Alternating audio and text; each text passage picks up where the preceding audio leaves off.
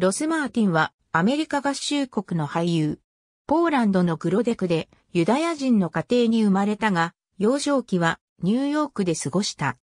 ユダヤ語、ポーランド語、ロシア語の3カ国語を母国語としたが、英語を習得した後には、さらにフランス語、スペイン語、イタリア語も身につけた。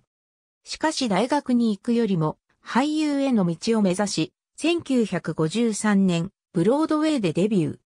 そして1955年に宇宙征服で映画デビューした後、ローレンス・ハーベイ監督、主演の脱走計画やジャック・レモン主演のグレートレースなどに出演した。また、グレートレースでの演技が CBS によって認められ、テレビシリーズ0088ワイルドウエストのアルテムス・ゴードン役に抜擢された。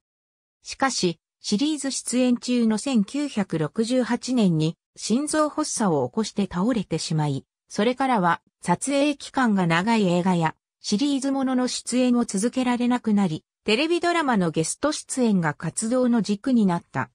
その後は数々のテレビシリーズではゲスト出演、テレビ映画では主演を多く務めた。1980年に放送された0088ワイルドウエストのテレビ映画版、続ミスターウエストの奇妙な冒険が成功したことで、再びシリーズ化が計画されていた矢先の1981年7月3日、テニスのプレー最中に、再び心臓発作で倒れ、心筋梗塞により61歳で死去した。ありがとうございます。